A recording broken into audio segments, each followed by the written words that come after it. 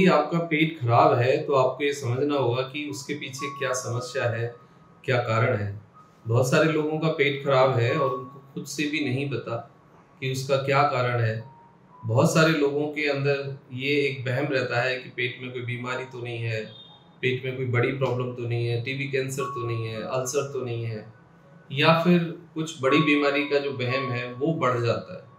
तो यदि आपका पेट खराब है तो आपको उस समस्या को समझना होगा ढूंढना होगा उस कॉज को फाइंड आउट करना होगा।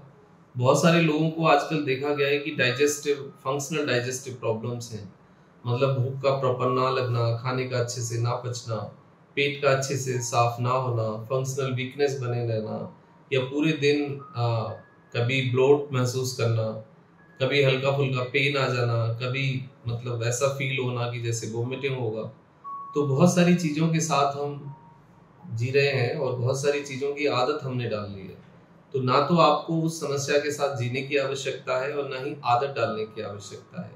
यदि आपका पेट खराब है तो उसको समझने की आवश्यकता है, क्योंकि पेट खराब होने के पीछे कुछ कॉमन कॉज हैं जो सभी के साथ होते हैं और कुछ कॉज को यदि हम समझ लें तो फिर उसको हम काफ़ी हद तक ठीक कर सकते हैं।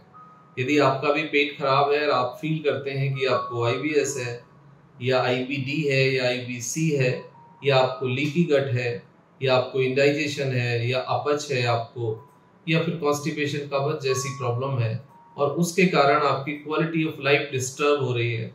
आपका इमोशनल हेल्थ आपका मेंटल हेल्थ आपका फ़िज़िकल हेल्थ यदि प्रभावित हो रहा है, उससे यदि आपको फोकस करने में कॉन्सेंट्रेट करने में परफॉर्म करने में प्रॉब्लम हो रही है क्वालिटी ऑफ़ लाइफ प्रभावित हो रही है।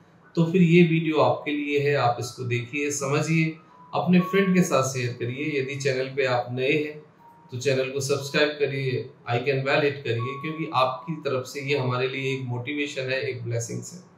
मैं आपका दोस्त डॉक्टर सुनील कुमार और आप देख रहे हैं doctor Kumar education clinic I am post doctorate in clinical medicine and the metabolic science last two decade से साउथ दिल्ली छतरपुर में as a clinical health physician में प्रैक्टिस कर रहा हूँ। तो आज हम बात करेंगे कि पेट खराब है तो फिर मसला क्या है, मामला क्या है, उसको हम समझने की कोशिश करेंगे। उसका सॉल्यूशन भी आपको देंगे, उसका कॉज भी आपको देंगे। लेकिन सबसे पहले आपको कुछ बुनियादी बातें हैं। पेट खराब होने के पीछे जो रूट कॉज होता है, उसको समझना होगा। यदि आपकी पुअर जीआई मोटिलिटी है, यदि आपका इंटेस्टाइन स्लो हो गई है यदि आंतों ने का जो मैकेनिकल वर्क है मैक्सिमम जो फ़ूड के साथ काम है वो आंतों का है इंटेस्टाइन का है और आंतें आपकी मैकेनिकल काम करती हैं। मैकेनिकल काम से मतलब है कि खाने का एब्जॉर्प्शन डिस्ट्रीब्यूशन एक्सक्रीशन का जो आ, काम है वो आपकी इंटेस्टाइन का है। और कई बार ये देखा जाता है कि आपकी जीआई मोटिलिटी जिसे हम आंतों की या पेट की स्पीड भी कहते हैं वो कम हो जाती है तो उस कारण आपको इंडाइजेशन पेट फूलना, पेट दर्द, इस तरह की कुछ समस्याएँ रिपोर्ट हो सकती हैं कॉन्स्टिपेशन रिपोर्ट हो सकता है। नेक्स्ट है लेक ऑफ़ फाइबर यदि लगातार आपके खाने में फाइबर यानी दरदरा खाना नहीं है फाइबर की कमी है, यदि आपके खाने में बहुत ज़्यादा ऑयली स्पाइसी फ़ूड है, बहुत ज़्यादा फैट है, बहुत ज़्यादा शुगर है, और बहुत ज़्यादा पैक फ़ूड है तो आपको फिर फाइबर की कमी है, और फाइबर की कमी से भी आपका डाइजेशन डायरेक्टली प्रभावित होता है उससे फिर पेट की समस्याएँ पैदा होती है। Lack of juices and enzyme जब आप खाने च्यू करते हैं, जब खाने को आप चबाते हैं तो आपको सलेवा निकलता है माउथ के अंदर, जिससे कि लुगदी बनाने में मदद मिलती है, आपको खाना थोड़ा सा मीठा और मॉइस्ट लगता है।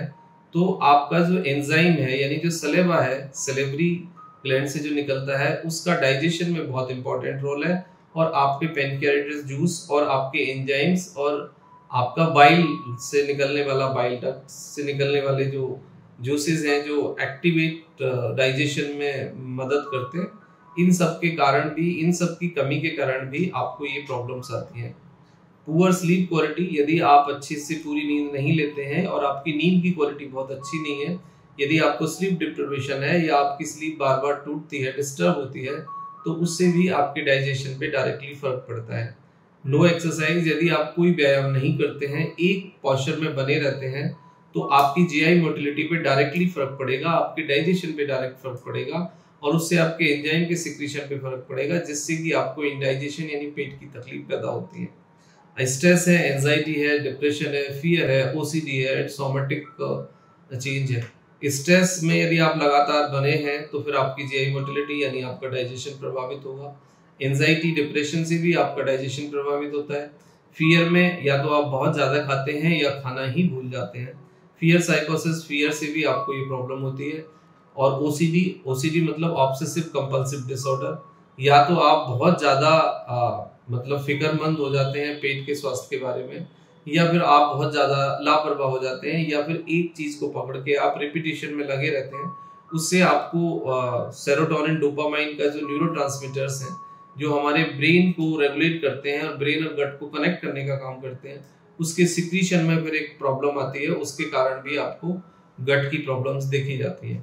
सोमेटिक चेंज कई बार आपके डाइजेशन को प्रभावित करता है। सोमेटिक चेंज से मतलब होता है कि हमारा जो प्रॉब्लम है, वो हमें दिमागी होता है स्ट्रेस होता है एनजाइटी स्ट्रेस फियर ओसीडी होता है, लेकिन हम उसे पेट की तकलीफ़ मान लेते हैं और पेट के फ़िज़िकल सिम्टम्स के रूप में हम डॉक्टर के सामने उसको प्रेजेंट करते हैं।